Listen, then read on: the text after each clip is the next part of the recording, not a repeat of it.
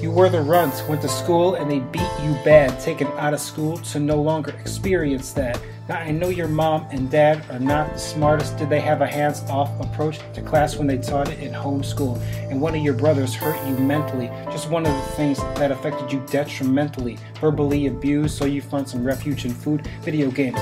Bile backed up, gall bladder removed, little love. Back in public school, high senior year, you cling to anyone and everyone who lend you an ear. Is that fear?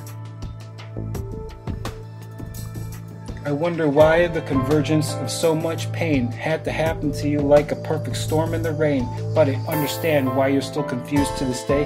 It's not all your fault, it's just that you were raised this way. Made a lot of friends that senior year of high school, darling. Followed them to college, but you're not a scholar. You stopped with your small degree. You'd work, drink, smoke, party to death, and I know your story's deep. Sex was just a tool for acceptance. Relationships died because healthy bonds were not manifested. Sexing like a jackrabbit, lack of hats on your fellas. You've been screwed a bunch of dames because the men were not better. They left you. But who the hell's fault is that? You put no value on the most sacred treasure you have, your vag, and your mind you give it away to the trends. You laugh and think it's okay and play with your friends. Watch out, cause these demons have come back to haunt you. Find the fighter in you, I won't be there when they stalk you.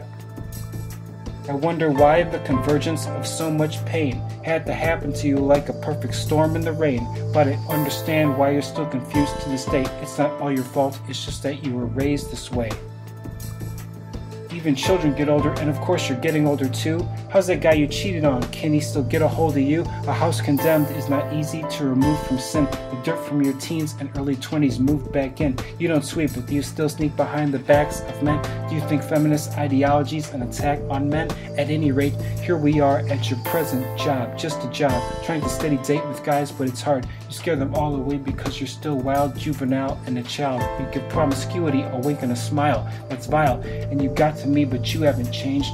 So the same result came. We're no longer a thing. Finish your new degree, girl, but also fix up your morals. You have egg on your face. Wipe it off before it's all over. I wonder why the convergence of so much pain had to happen to you like a perfect storm in the rain. But I understand why you're still confused to this day. It's not all your fault, it's just that you were raised this way.